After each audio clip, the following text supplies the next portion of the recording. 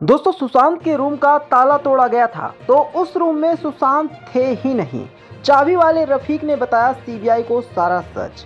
जी हाँ आपको बता दें, सुशांत सिंह राजपूत केस में आज भी कई सारे ऐसे खुलासे होते हैं, जिसे जानने के बाद, जिसे सुनने के बाद हर कोई हैरान हो जाता है।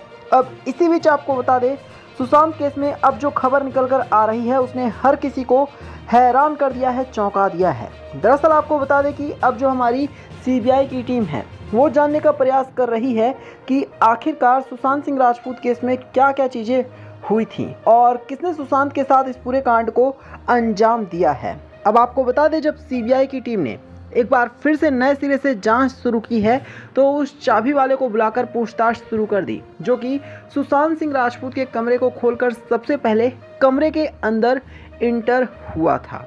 अब दोस्तों, जैसे ही सीबीआई की टीम ने उस शख्स को बुला करके और फिर पूछताछ की है तो दावा किया जा रहा है कुछ बड़े और भयंकर खुलासे हुए हैं, जिसमें ये पता चल गया है कि आखिरकार ये जो रफ़ीक है, ये किस तरह से सुशांत सिंह राजपूत के कमरे में गया और जब गया तो वहाँ पर देखता है कि सुशांत सिंह राजपूत तो वहाँ पर थे ही नहीं और वहाँ पर सुशांत सिंह राजपूत की जगह पर उनका सारा सामान बिखरा हुआ है और साथ ही साथ ऐसा लगता है कि बहुत बड़ी साजिश के तहत सुशांत के साथ इस पूरे कांड को अंजाम दिया गया है।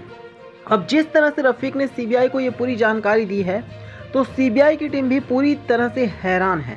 सीबीआई की टीम अब जानने में जुट गई है कि आखिरकार जब सुशांत सिंह राजपूत वहाँ पर नहीं थे तो फिर किसने इस पूरे कांड को और कैसे अंजाम दिया? कैसे सुशांत सिंह राजपूत को फिर कमरे में लाकर रखा गया? तो यही था वीडियो में। वीडियो को लाइक करना, इसे शेयर करना और चैनल को सब्सक्राइब करना।